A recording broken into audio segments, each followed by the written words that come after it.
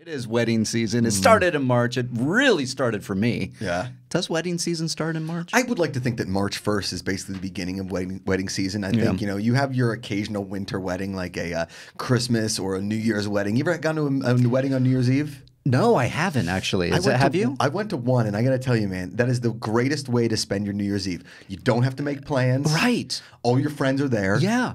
Uh, you're already dressed up. Dressed up, free drinks. I'm assuming. Free drinks. Yeah. Incredible. You don't Uh, have to spend that weird freaking like when everybody's like, "What are we doing for New Year's? Oh my God, we have to do something!" And then they're like, "Well, we have to pay hundred dollars just to get in this door." Here. I know.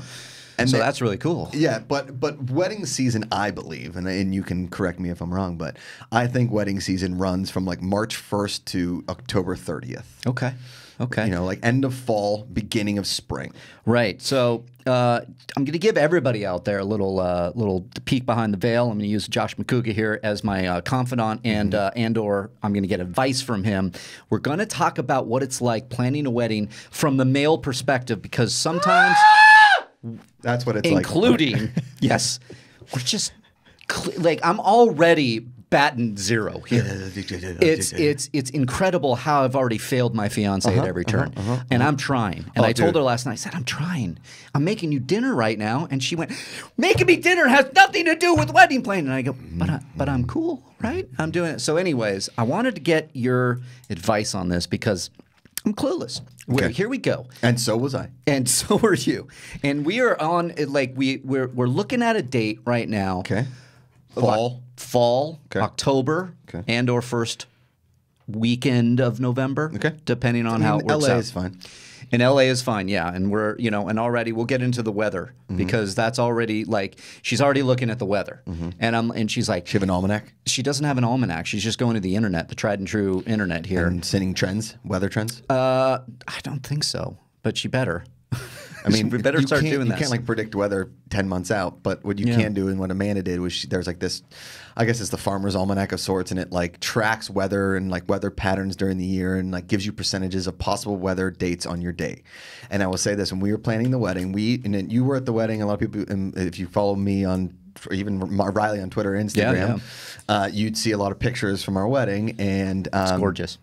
that was an amazing day, and we got married outside, and with no contingency plan at all. If there was bad weather, just no Yeah. contingency plan at all. We just we just ripped it. We just ripped the ripcord, and we were praying and hoping that it would be beautiful. And at that time of year, when we got married, and we were lucky enough to get the venue when we did, and everything, that that ninety percent of the time over the last sixty years, based on the Farmer's Almanac, the weather was pretty much perfect. Yeah. Okay. And All right. I was like thinking the other one, and I'm like, Yeah. oh my god, you got real lucky. No, no, no. So about four or five months away from our wedding, maybe even longer, Mm. because that time. So we got married December 11th.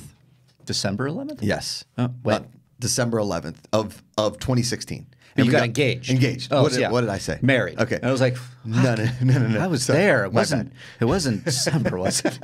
I was gonna go with it and be just like, I'm Yep, fucking definitely. stupid.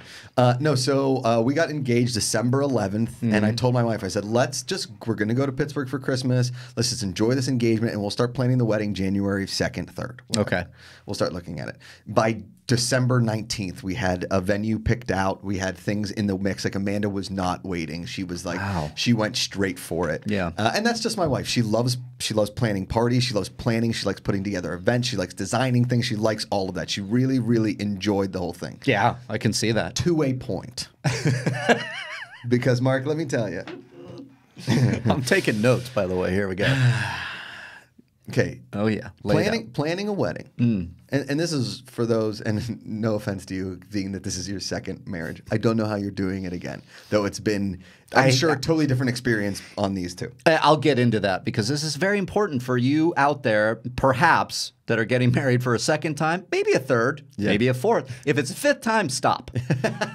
Not going to work. quit it. Just quit. I'm kidding for all you fi- fifth timers out there, all you six timers. Who knows? Uh, So please continue. No, so um, so we we got engaged, and the wedding just got off with gangbusters. I mean, Amanda went crazy, and, and at this point, listen, man, you're in the early stages of it. Whatever Mm. you do, just don't fight it.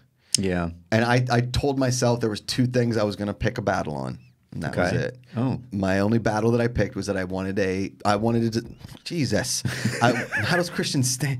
I uh, know. It's I weird. wanted. I wanted to design the suit. Oh yeah, Okay, which I did, and a lot of people have seen that suit. I fucking love that suit. This is my favorite. Yeah. Uh, I wanted to design the suit, and I wanted to be heavily involved in picking out the music and how the like reception went. These sound like very Josh Macuga things, Right. Yeah. That's that's it. I don't even know what I want to be involved in yet. Right. Because I'm still, it's all happening because it's a, a little backstory. We do get engaged. Um, you know, I, I was one who. Congratulations on making the step. It's a beautiful thing. It's a I- I- beautiful as, thing. as terrible as wedding planning is, and I look at it like pledging, which you and I both did. We Yes, pledged we to did. fraternity. It's the best time of your life you never want to do again. Exactly. That was my thought about pledging. Mm-hmm. That, to this day, I'll look back in pledging and have like nightmarish chills Mm-hmm. and think, God, that was terrible, and have like anxiety thinking about going to the house on like a Friday night, being like, oh God, this is gonna be the worst. oh, yeah. But at, on the flip token of that is it was so funny looking back on pledging. It's amazing, right? Right. Mm. Same thing as wedding planning. I think about it. I'm like, I'm going to throw myself off a bridge. But at the same time, I was like, it led up to one of the greatest, if not the greatest day of my life. Yeah, and uh, I to go back a little bit on that, um, you know, and commenting on the fact that this is my second wedding. The first wedding was awful.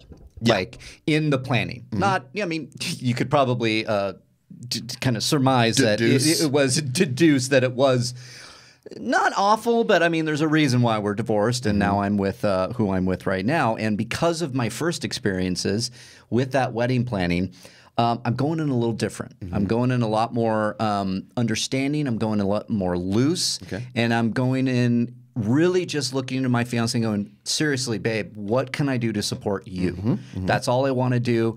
But I also have my opinions on things because the first wedding, uh, again, pulling back the veil, was a horse and pony show. It mm-hmm. was one of the most insane, expensive weddings I've ever been to, and I was a part I of it. was it.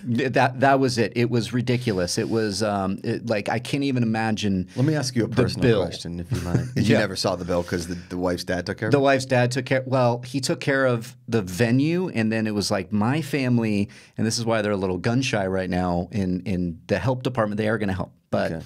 it was my family also did a lot of help. Hmm. And then the shitty thing was. Um, it, it, wasn't really couched that way in some of the speeches. It was like I was really thanking my family, and a lot of people were thinking the, the other one. And it was like, hey, it was a kind of a group effort because it was so expensive. Like I felt like my parents got a little left behind in mm-hmm. the thanks department, but that's water under the bridge. They really did help, but whew, it was expensive and, and just out there. Personal question, I'll answer.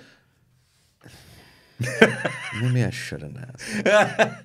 Do it. Okay. It's it's that kind of Reilly Roundtable Do, today. do you think that there were multiple people in your wedding that were like, this isn't going to work?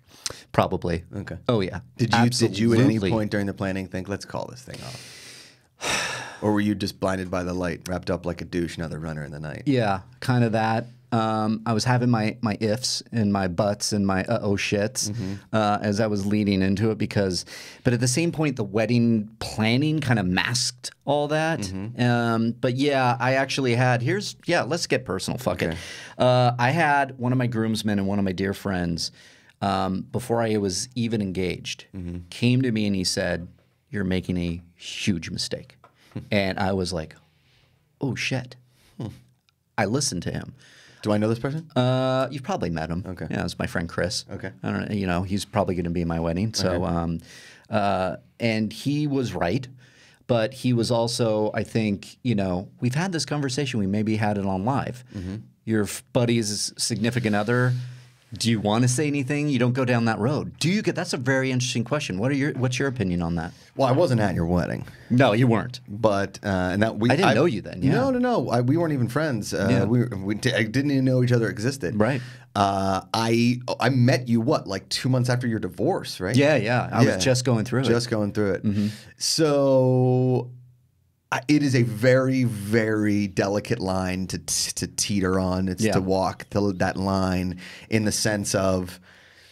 If I say something now and then they get married and later on they stay together forever, he may tell his wife in the heat of passion or something like that, and we, I may never see this guy again, or he's always going to look at me, the guy that doesn't like my wife, and this is always going to be a situation. But if I'm right, I don't want to be right because I don't want to be right because it's going to hurt my friend. Yes. There's no win-win in No. this. It's a lose-lose situation. Correct.